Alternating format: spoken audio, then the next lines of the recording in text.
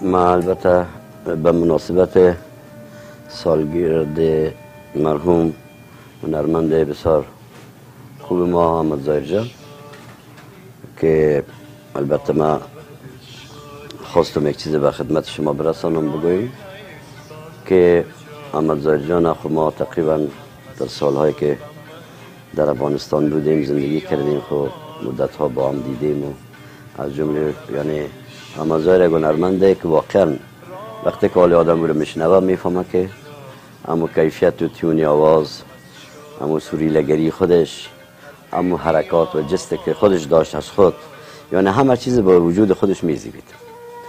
و حالیام قدر سالهای طویل گذشته و باز هم کونگی نداره بر مردم و در ماتور ما شما یک چراغ بسیار بزرگ هست و بینده و شنونده همیشه همه عالم از او حض می‌برن و اول که انتخاب شعر ادایت شعر کمپوزیشن خوب چی کاپی باشه چی از کمپوزیتور باشه چی از چی باشه مقصد متا چیزی میگه سخن خوش است به کیفیت ادا کردن.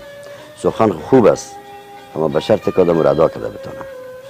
دیگه ما آرزوی زیر دارم که ما شما خداوند و نرمندای باقی ما را زنده داشته باشن و به خیر خداوند همیشه جان و جور سیاد برشان ببخشه. دیگه منظر جان قابل شنیدن است و قابل عزیز که من خودم بعض وقتا که ما برابر شده شنیدیم یا حال کسی تاش که میشنم یعنی توجه می‌کنه. آدم باز وقت می‌فهمه که یک آوازی که بسر کشیده میشه یک آوازی که خداداد می باشه یعنی موسیقی چرا دو قسم است؟ یکی علمی موسیقی است که آدم رو یاد می‌گیره.